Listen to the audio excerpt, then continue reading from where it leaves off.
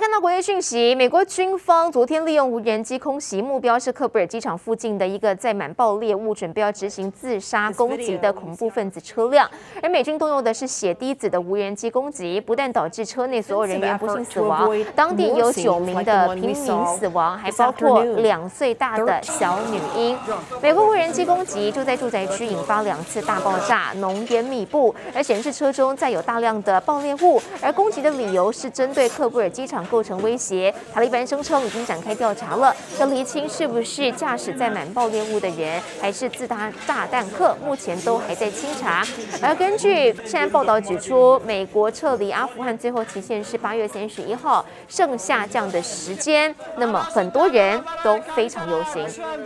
好，另外来看到的是，美国总统拜登跟第一夫人吉尔在这个空军基地和殉职的家属闭门会谈，而且这个画面。非常的庄严，同时也有夷陵的作业，向这些士兵致敬。而这是专门为魂断异乡的美国公民所举办的军事仪式。除了拜登夫妇之外，还有美国的国防部长、美军参谋长等等大官都到场了。殉职的十三名美军在二十六号为国捐躯，而在遗体运抵美国，当时极端组织 ISIS-K 对克布尔机场发动的自杀炸弹攻击，这十三人当中有十一人来自海军陆战队。一人来自陆军，一人是隶属海军，而其余的五人年仅二十岁。好，他们的出生年份都是在九一一的前后不久。那么，科布尔机场恐攻是美军近十年来在阿富汗伤亡最惨烈的一天，也是去年二月之后第一次有美军在阿富汗阵亡。当时，川普政府和塔利班达成了协议，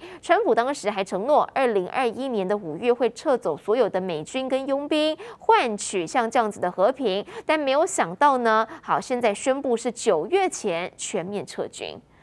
大陆国务委员兼外交部长王毅昨天有针对阿富汗的情势，跟美国国务卿布林肯进行电话通话。而这个重点呢，除了是对阿富汗，还包括了一些中美关系。两个人呢都在讲电话中有一些强调，包括了第二度的这个阿富汗的局势交换意见。而布林肯对于王毅表示说，这个联合国安理会应该要表明国际社会期待塔利班能够确保外国公民安全撤离，并且确保阿富汗人民获得人道自由、人道主义的救援。王毅则表示说，各方有必要和塔利班接触交换意见，美国尤其需要跟各国站在一起。向阿富汗提供援助，以帮助新政权维持正常运作。他还说了，美国跟北约的仓促撤军就是阿富汗乱局的主因之一。那么同时呢，他也认为会有一些势力有机可乘。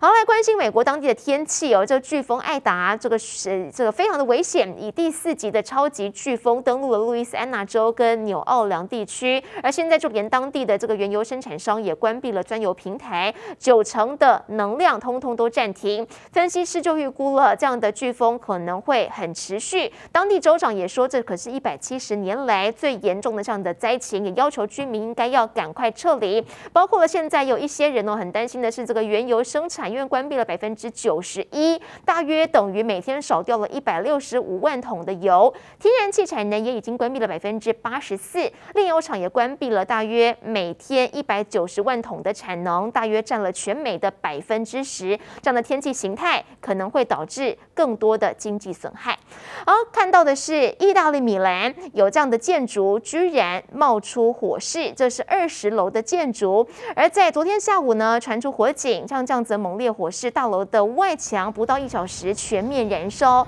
这烟雾弥漫，几公里外都可以看得见这个黑烟窜出来。起火的原因目前呢是在这个原因是因为外墙迅速燃烧，而现在有这样的仿直立的这种建造，有可能他们不是防火建筑，才会导致这样的灾情这么严重。好，我们持续来关心的是国内疫情。